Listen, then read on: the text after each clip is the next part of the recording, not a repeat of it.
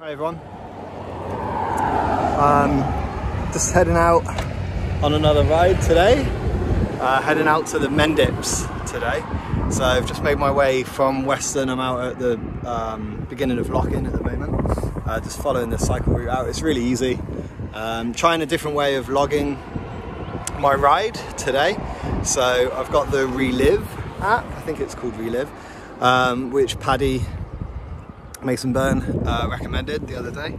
So I've got that going in, on in the background and then I've got my route um, being uh, shown to me or my way being guided by Google Maps today because um, Google Maps has a cycle option on it and Apple Maps doesn't and I don't know why still. Um, bike seems to be holding up pretty well.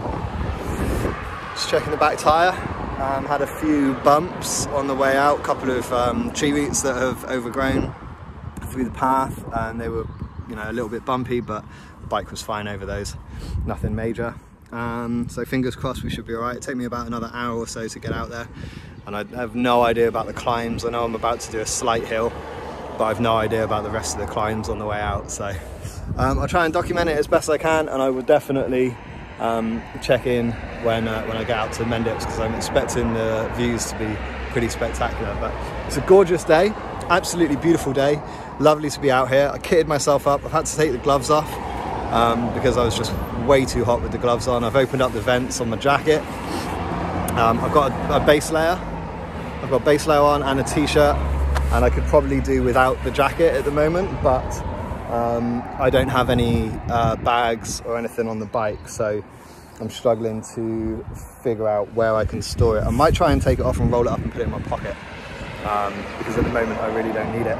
Wind is behind at the moment, so it's helping me a little bit. It's not too strong today. It's been really windy over the last couple of days, but it's not too strong at the moment, so hopefully it won't cause any problems on the way back. Anyway, I'll check in with you soon jacket that I was wearing continues to amaze me.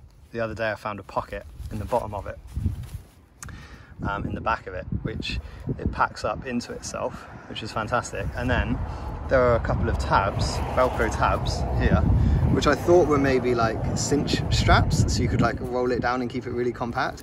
But of course, no, what they're for is for attaching it to your bike. So I'm gonna put it onto there, onto the crossbar, and then it also doubles because there is a little bit of room in it once you've rolled the, the jacket up. It also doubles as a little bag. So I've just put my Allen key set in there and my snacks um, and without any bag on the bike now I have one. Uh, and I've found out that the um, the sleeves come off as well. So the sleeves completely detach and you can have it as a vest if you don't need the sleeves on. So this thing's brilliant um, I bought it years and years and years ago. It's in incredible condition. Um, it does need re-waterproofing, so I have ordered some uh, waterproofer. Um, but I'm so glad I've kept hold of it because it is fantastic. Oh, I just did a awesome climb from um, kind of the Locking area all the way up to wherever we are now, um, past Banwell anyway. And picking up a couple of the small quiet country roads which is pretty good. There's not much traffic around obviously. But um yeah pretty tough going up the hills. Legs are feeling it. But it's uh it's a good spot. It's a good track. Out on the strawberry line and then leave that and head up head up towards the hills. Oh, I've had to get off to walk for a bit. It's killing me. Big climb up uh, Shipham Lane up towards Holloway Lane. Anyway, big climb. It's killed me the last bit. So let's just uh, show you the view from here. It's pretty spectacular. Look at that. Don't know how well it'll come off on the camera, but isn't that beautiful? That's Wales and the Bristol Channel. And looking back down towards Weston and where we've come from. Spectacular view, beautiful day. Oh, I feel better now, not pedaling. Great, look at this bloody hill. anyway. onwards and upwards.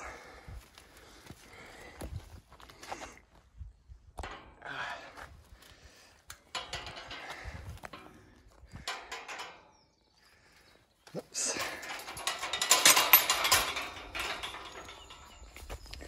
Always make sure you shut the gates properly. All right, here we go. So the path has actually turned into a bit of a track. So I'm just sort of seeing where it leads. Just gonna shut this gate.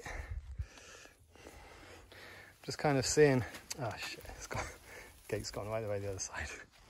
Um, just kind of seeing where it's leading and if the track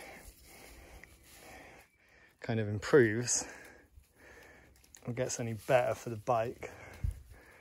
Otherwise, it might be a case of ditching the bike and walking. I really want to get to the Mendips today. I've got about four miles to go. Um,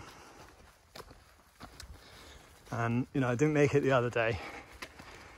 I really want to make it today. So but this is just beautiful. Listen.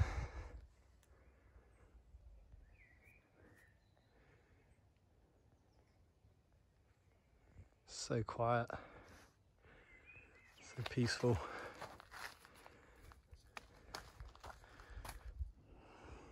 It's gorgeous.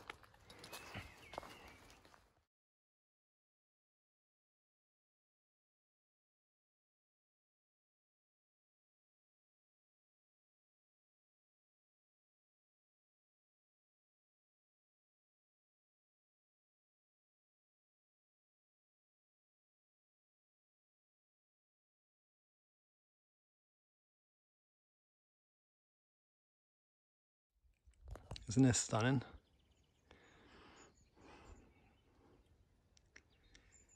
Beautiful, beautiful countryside.